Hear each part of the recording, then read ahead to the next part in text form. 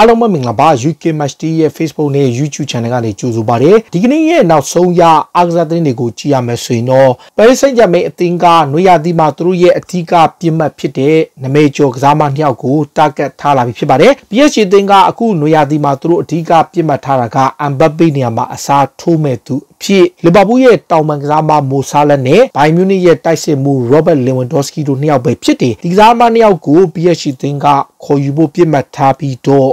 နွေရာသီမှာအမ်ဘပ်ပေနေရာမှာအစားထိုးဖို့အတွက်အထူးကခေါ်ယူသွားဖို့ရှိတယ်လို့ဖော်ပြထားတယ်။ PSG နဲ့လက်ရှိမှာနောက်ထပ်ကစားမတစ်ယောက်ကအမ်ဘပ်ပေနေရာမှာအစားထိုးဖို့သူတို့ကြိုးစားနေစေဖြစ်တယ်။အဲ့ဒါကတော့ဘန်ဖီကာရဲ့လူငယ်တိုက်စစ်မှုဒါဝင်နူးနက်စ်ပဲဖြစ်တယ်။အသက်22နှစ်ရှိတဲ့ဥရုဂွေလေဝစ်စင်တိုက်စစ်မှုကို PSG အသင်းကအခြားကလပ်အသင်းတွေပေးတာရဲ့နှစ်ဆနီးပါးထိ ပေးပြီးတော့ကန်လန်ဖို့ရှိတယ်တချို့ report တွေမှာဆိုရင်ကန်လန်ထားပြီးရှိတယ်ဆိုပြီးတော့ပေါ်တူဂီမှာ journalist တွေမှာဖော်ပြထားတယ်အထူးသဖြင့်လီဂါအိုလိုဆိုတဲ့ဂျာနယ်ရော RMC တို့ပြင်သစ်မီဒီယာတွေမှာဖော်ပြထားပြီးတော့ယူရိုတန်120ဒီနေရာမှာ Manchester United Arsenal Chelsea နဲ့ Liverpool တို့လိုအသင်းတွေကတန်း60နဲ့ခေါ်ဖို့အတွက်ကမ်းလှမ်းမှုကတော့တော်တော်လေးကိုခက်ခဲသွားတယ် PSG ကတော့တကယ့်ကိုဈေးဖြတ်ပြီးတော့ကမ်းလှမ်းလိုက်တဲ့သဘောဖြစ်တယ်နောက်တစ်ခုကတော့ Manchester United ခေါ်ဖို့လုပ်နေတဲ့ Barcelona ရဲ့ကွင်းလယ်ကစားမ Frankie De Jong က club သင်းကထွက်ခွာဖို့အစီအစဉ်မရှိသလို United ကိုမပြောင်းချင်ဘူးဆိုပြီးသူကညင်းထားတယ်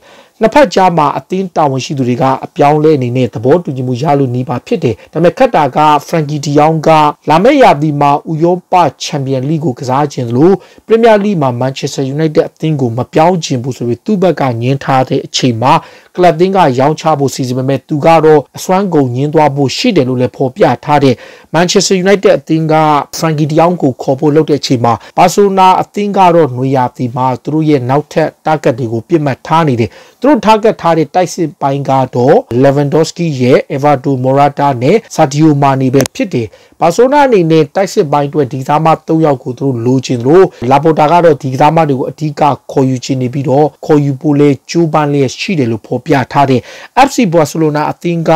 ဒီနေ့ရာသီအတွင်းမှာစပွန်ဆာအသစ်ဖြစ်တဲ့ Spotify နဲ့လည်းရင်ဘတ်စပွန်ဆာတက်တန်းတိုးထားတယ်။စာချုပ်တီးရလဲလာစာတွေအများကြီးရပြီးတော့သူ့ရဲ့ဝင်ငွေကတစ်နှစ်ကိုတန်း100လောက်ရနိုင်ဖို့ရှိတယ်။တစ်ချိန်တည်းမှာပဲသူတို့လမောင်းတစ်စိတ်ဖြစ်တဲ့ cryptocurrency ရဲ့ကုမ္ပဏီနဲ့ Barcelona အသင်းကစာချုပ်တီးချုပ်ဆိုဖို့လုပ်နေတယ်။ဒီကုမ္ပဏီကတော့ Polkadot ဆိုတဲ့ကုမ္ပဏီဖြစ်တယ်။ကုမ္ပဏီက Barcelona ရဲ့လမောင်းတစ်စိတ်မှာတစ်နှစ်ကို တန်း20ယူရိုပေးပြီးတော့စာချုပ်ချုပ်ဆိုမှလည်းဖြစ်တယ်။ Atletico Madrid ကလည်း Barcelona ကခေါ်ထားတဲ့တိုက်စစ်မှု Antoine Griezmann ကိုတက်တန်းတိုးဖို့အစီအစဉ်မရှိတော့ဘူးလို့ဆိုလိုက်တယ်။နှစ်နှစ်စာချုပ်နဲ့တီကိုကိုပြောင်းလာတဲ့ Griezmann ကိုဘာဆိုနာကအပိသက်ရောက်ဖို့သဘောတူထားပေမဲ့ Atletico Madrid ကသူ့ကိုခေါ်ယူဖို့အစီအစဉ်မရှိတော့ဘူးဆိုပြီးတော့တုံ့ပြန်ခဲ့တဲ့အတွက် Griezmann ကဘာဆိုနာကိုပြန်ရဖို့ရှိတယ်။ Tottenham ကလည်းသူတို့ရဲ့နီးပြ Antonio Conte ကိုဆုံးရှုံးရမယ့်အရေးနဲ့ရင်ဆိုင်နေရဆဲဖြစ်တယ်။ရာသီကုန်မှာ Tottenham Hotspur အနေနဲ့ Champions League ဝင်ခွင့်မရခဲ့ရင် ခွန်တေကိုဆုံးရှုံးနိုင်သလိုအသင်းရဲ့ဥက္ကဋ္ဌဖြစ်တဲ့ဒန်နီယယ်လီဗီကသူ့ကို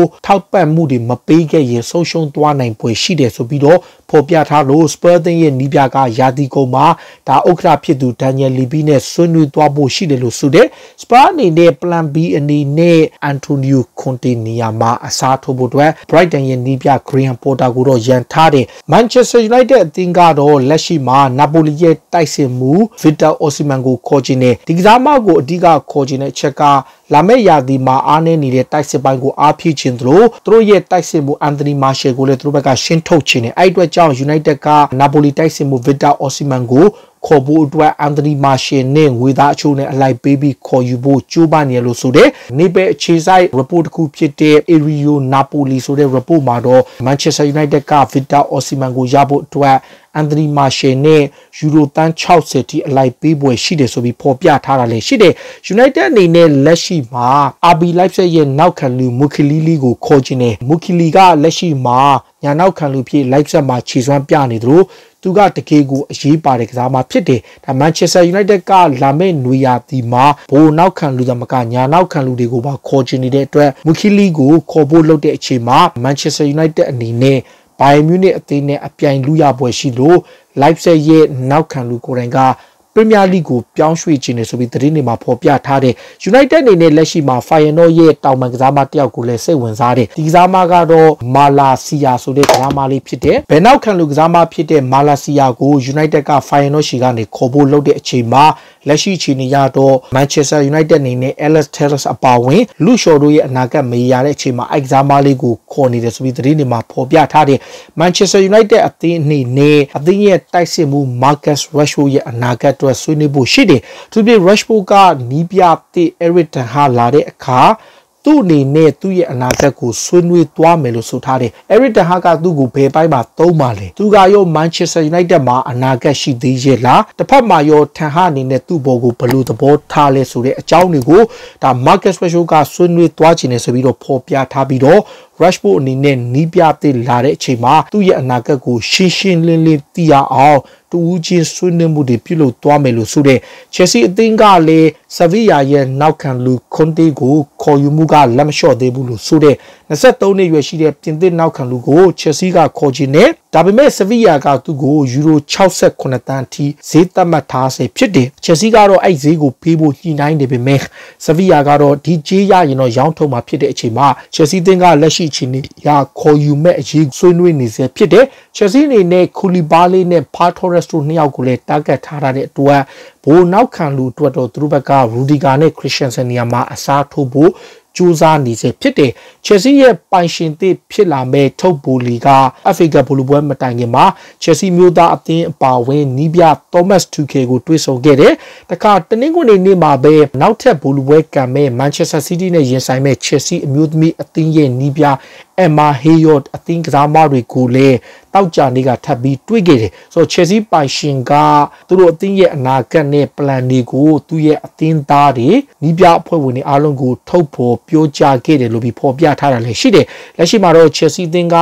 Declan Rice ကိုမရခဲ့ရင်အခြားကစားမတယောက်ကိုအရန်ထားရတယ် Declan Rice ကိုတော့သူတို့ဘက်ကယူရိုတန်150နဲ့တုံးပြီးတော့ခေါ်သွားနိုင်တယ်ဆိုတဲ့သတင်းတွေလည်းရှိတယ်လက်ရှိမှာတော့ Rice ကို Watson ကဘလိုဈေးနဲ့မှရောင်းထုတ်မှာမဟုတ်ဘူးလို့ဆိုပေမဲ့ Chelsea အသင်းဘက်က Rice ကိုလိုချင်ပေမဲ့တကယ်လို့ Rice မရခဲ့ရင်တော့ PSV ကစားမတယောက်ကိုလိုချင်တယ်လို့ဆိုတယ်သူတို့လိုချင်တာက Ibrahim Sangari ဆိုတဲ့ကစားမတယောက်ဖြစ်တယ်ဒီကစားမက Chelsea စိတ်ဝင်စားတဲ့အကြောင်း Daily Mirror မှာဖော်ပြထားတဲ့အခြေအနေရ Chelsea က Declan Rice ကိုသာမရရင် PSV ကစားမကိုယူရိုတန်း40ထိသုံးသားနိုင်ပွဲရှိတယ်လို့ဆိုပါတယ် တီမိုဗာနာကတော့သူ့အနေနဲ့ Chelsea အသင်းကိုပြောင်းရွှေ့ပြီးလီဗာပူးကိုမရွေးခဲ့တဲ့အပေါ်ဘယ်တော့မှနောင်တမရခဲ့ဘူးလို့ဆိုတဲ့ Chelsea အသင်းကိုသူပြောင်းလာခဲ့တဲ့လီဗာပူးနဲ့သတင်းထွက်ခဲ့ပေမဲ့တီမိုဗာနာက Chelsea အသင်းမှာပျော်ရွှင်ကြောင်း Leipzig ကပြောင်းလာတုန်းကလီဗာပူးကိုကြိုပြီးရွေးချယ်ခဲ့တာဟာသူ့အတွက်ဘယ်တော့မှနောင်တမရဘူးလို့ဆိုခဲ့တယ်။ဒီချိန်ထဲမှာပဲ Raheem Sterling, Tammy Abraham နဲ့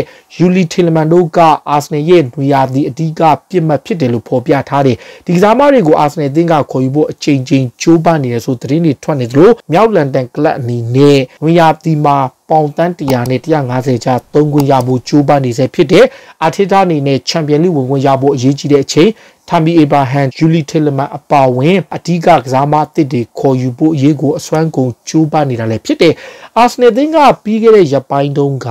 ဂျူဗန်ဒက်စ်ရဲ့အာဂျင်တီးနားတိုက်စစ်မှုဖော်လူဒီဘာလာရဲ့အေဂျင့်နဲ့တွေ့ဆုံခဲ့တယ်လို့ဖော်ပြလာတယ်။လန်ဒန်ကိုရောက်နေတဲ့ဒီဘာလာအေဂျင့်ဖြစ်သူနဲ့အဒူတို့တွေ့ဆုံခဲ့တဲ့အကြောင်းဒီဘာလာကိုအာဆနယ်ကခေါ်နိုင်မဲ့အခွင့်အရေးရှိနေသေးကြောင်းအင်တာမီလန်ကသတင်းတွေထွက်နေပေမဲ့လည်းအာဆနယ်ကသူ့ကိုခေါ်ယူမဲ့အခွင့်အရေးအတွက်မျှော်လင့်ချက်ရှိနေသေးတယ်လို့ဆိုတဲ့တခါနမေကျော်ဂျာနယ်လစ်ဖြစ်တဲ့ဒေးဗစ်အွန်စတိန်ကတော့မြောက်လန်ဒန်ကလပ်အာဆနယ်ဟာ မန်ချက်စတာစီးတီးရဲ့တိုက်စစ်မှုဂါဘရီယယ်ဂျေဆူးကိုခေါ်ယူနိုင်ဖို့အခွင့်အရေးအများကြီးရှိတယ်လို့ဆိုတဲ့ဂါဘရီယယ်ဂျေဆူးကမန်စီးတီးကနေထွက်ခွာပွဲရှိတယ်အထူးသဖြင့်ဟာလန်ရောက်လာတဲ့အတွက်အသင်းပြောင်းရွှေ့နိုင်ပွဲရှိတဲ့အချိန်မှာဂျေဆူးဟာအာဆနယ်တကယ်ရနိုင်တဲ့အခွင့်အရေးအများကြီးရှိတယ်လို့ဆိုခဲ့ပြီးတော့ပေါင်တန်း90နဲ့ကန်လန်ထားပြီးဖြစ်တယ်လို့ဆိုတဲ့မန်ချက်စတာစီးတီးအသင်းအနေနဲ့သူတို့ရဲ့နီးပြဖတ်ကွာဒီယိုလာကိုစာချုပ်တက်တန်းကုံဆုံးတဲ့အထိစောင့်ကြည့်ရဖို့ရှိတယ်အစောပိုင်း report တွေရတော့ကွာဒီယိုလာဟာမန်စီးတီးနဲ့စာချုပ်တက်တန်းတိုးမယ်လို့ဖော်ပြထားတယ်2025ထိရှိမယ်လို့ဆိုထားပေမဲ့လက်ရှိချိန်ကကွာဒီယိုလာကစာချုပ်တက်တန်းကုန်နဲ့2023ထိအရင်နေပြီးတော့မှ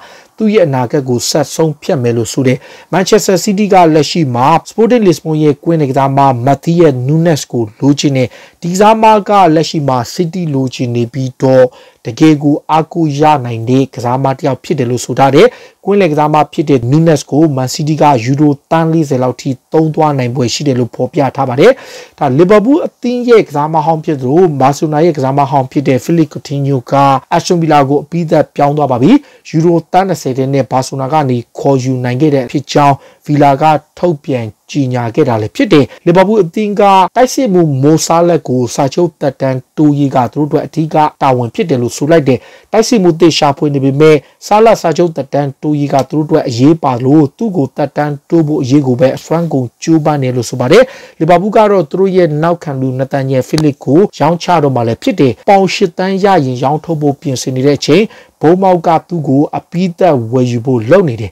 ဘုံမောက်မှာအငှားကစားနေတဲ့ Netflix ကိုလီဗာပူးကတော့ရှစ်တန်းသတ်မှတ်ထားတဲ့အချိန်မှာပရီးမီယာလိတန်တက်မဲ့အသင်းကအပီးသက်ဝယ်ယူဖို့စတင်ဆွေးနွေးနေပါတယ်ဘိုင်မြူနစ်အသင်းကလည်း Manchester United ရဲ့ကွင်းလေကစားမဖိုးပိုပါကိုခေါ်ခြင်းတဲ့အကြောင်းဖော်ပြလာခဲ့တယ်ဖိုးပါကယာတီကုံမှာစာချုပ်တက်တန်းကုံဆုံးမှာဖြစ်လို့ဘိုင်ယန်ကသူ့ကိုခေါ်ခြင်းပြီးတော့ Juventus PSG တို့နဲ့အပြိုင်လူဖို့ရှိတယ်လို့ဆိုပါတယ်။ Borussia Dortmund ကလည်းလက်ရှိမှာတိုက်စစ်မှုဟာလန်နီယာမှာအစားထိုးဖို့တဲ့ Sebastian Haller ကိုလိုချင်တဲ့ ISK တိုက်စစ်မှုကိုယူရိုတန်း40လောက်နဲ့ခေါ်ယူဖို့ကြိုးပမ်းတယ်လို့ဆိုပါတယ်။ Dortmund အနေနဲ့သူတို့ရဲ့ကွင်းလက်ကစားမှာ Axel Witsel ကိုထွက်ခွာခွင့်ပေးလိုက်ပါပြီ။33နှစ်ရွယ်ရှိတဲ့ Belgian ကွင်းလက်ကစားမကစာချုပ်သက်တမ်းကုန်ဆုံးတဲ့အတွက် Borussia Dortmund ကိုစွန့်ခွာသွားမှာလည်းဖြစ်ပါတယ်။ဒါတွေကစိတ်ဝင်စားစရာနောက်ဆုံးရအားကစားသတင်းပါအလုံးကျေးဇူးတင်ပါတယ်။အရေးတော်ပုံအောင်ရမည်